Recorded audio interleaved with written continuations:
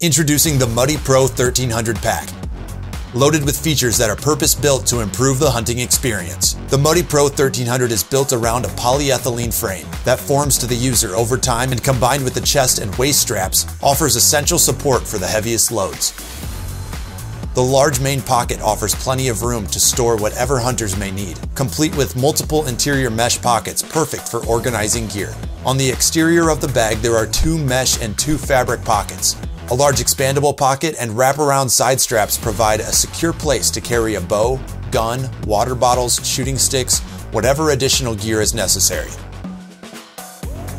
Zippered front pockets provide a convenient place to secure small items while the pack is on, while the interior hydration pocket enables users to hydrate on the move.